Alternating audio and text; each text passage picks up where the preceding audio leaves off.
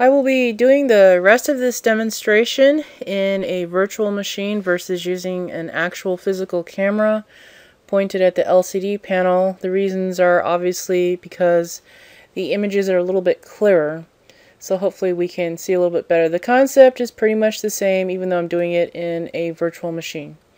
So we're at this Windows setup screen and at this screen it's asking us to set the language that we need to install, the time and currency format, and the keyboard or input method. So if you downloaded this from the DreamSpark website, this should already automatically be set for you. In case it's not, you should check to make sure that English United States is set, um, English United States set for the second one, and US is set for the third. I know that some of you may be foreign exchange students and would prefer to use your own language operating system. I will tell you that your professors will have an extremely difficult time helping you if you don't use the English language because that's the language that we use here at Kansas State University. So once you're done setting your language, go ahead and click this next button down here on the lower right. You'll also notice down here towards the lower left it says repair your computer now. So if you're going to install or do the recovery option, you can choose this repair your computer option down here, but we're not going to actually do that. So what we're going to do instead is choose the install now. So as soon as I click on that, we get the setup is starting down here at the bottom.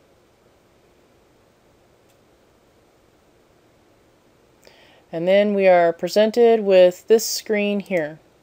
So it says enter the product key to activate Windows. It should be on the back of the box that Windows came in or in a message that shows you bought Windows. The product key looks like this.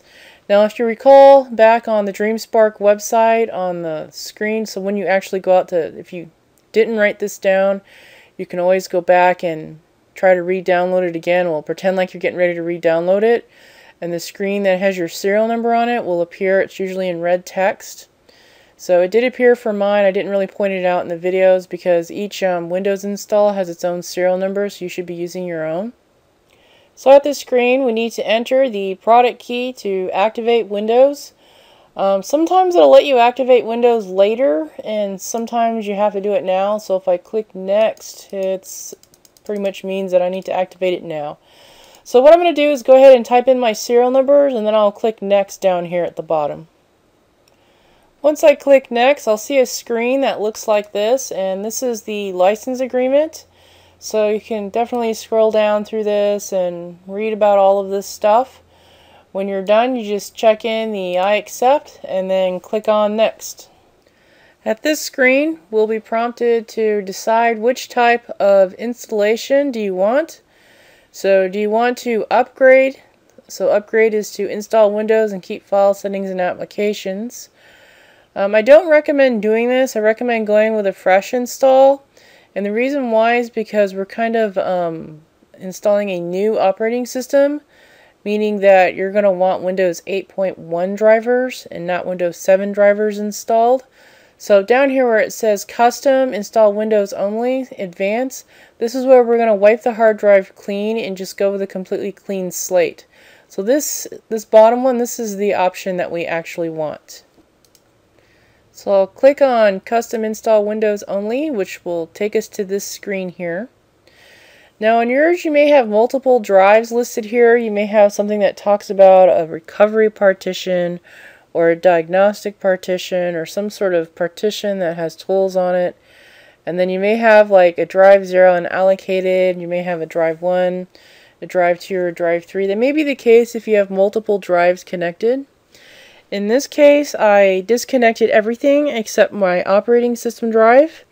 So I only have one drive listed here. I may have a second one listed here, which may be my diagnostic tools, but I don't have that.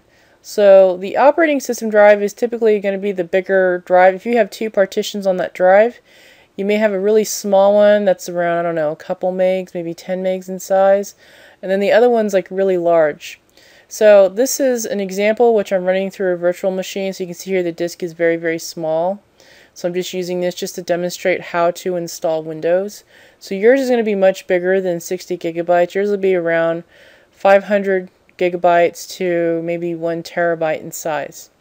So this one is pretty small, and like I said, I'm just doing this for demonstration purposes only, so yours will be much bigger.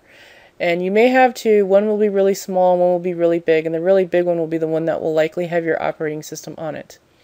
So right now it says drive 0 unallocated. So down here at the bottom we have several options. And these are kind of good to know about, but for the purposes of what I'm doing here, it's not really important. This button here allows you to refresh this list in case something should be listed here, but for some reason is not listed here. Um, some computers require a hard drive controller driver to be loaded first, or an LCD panel driver to be loaded in order for the LCD panel to work correctly during a Windows install. So to do that, you would load a driver by clicking on this load driver button and you can point it to your USB thumb drive or CD. So this is how you would do that. Um, you can delete a partition that's listed here by choosing this delete button. And right now the partition has already been deleted, so it's unallocated space. That's why it's graded out. You can extend a partition. That means you can maybe um, add a partition or create a partition from an existing you can format a partition. Now this button here will become pretty useful if you're told that your computer's been um, infected and it needs to be formatted. So what you would do is you would go through this Windows installation process, select that partition that is infected, and then you would choose this format option which will wipe all the files off the drive before it puts Windows files on there. And that's the option that you would choose if you're infected. And since there is nothing here to begin with, um, this format button is grayed out. Um, new, new allows me to create a new partition. So if I click on this new button, I can split this partition up. I can make, I could maybe make it two 30 gig size drives if I wanted to. And that isn't really what I want to do, so I'm just going to click cancel to that. So I'm just going to leave it the way it is at drive 0 unallocated and let Windows go ahead and partition format as one big one. So all I need to do here is just choose next. And then we go into installing Windows. So pretty much from this point on, it can take a little while depending upon how fast your computer is. If you have a solid state drive, this is going to go very, very fast. If you have a mechanical drive, like I'm using here in the example, it's going to take a pretty long time. So this is a good point. You just kind of sit back, maybe open a magazine or something, or surf the web, check your email and just kind of you know occasionally look over on your screen make sure that you know it's continuing. Sometimes it may look like that it's hanging. Um, you could turn the num lock on and off on your keyboard to make sure it didn't stop responding or something. But just you know every once in a while just check it make sure it's going. So at this point in time I'm going to pause the video and then I'll let it restart when it's actually at a screen where it wants me to do something. It may reboot a couple times, which is normal, so you know just don't freak out or anything like that. And you may get a blank screen or something. That's because it's trying to detect the video card. Just you know just let it run and do its thing. So I'm going to go ahead and pause the video.